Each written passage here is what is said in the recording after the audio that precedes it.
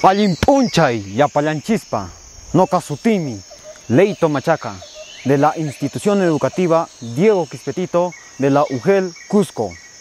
En esta oportunidad les traigo la danza del Carachunchu. En este mensaje de mi danza vengo a traerles lo que es que valoren el ciudadano del bicentenario, bicentenario debe valorar y respetar su cultura e identidad y la reforestación en nuestra naturaleza del Perú. ¡Que viva el Perú!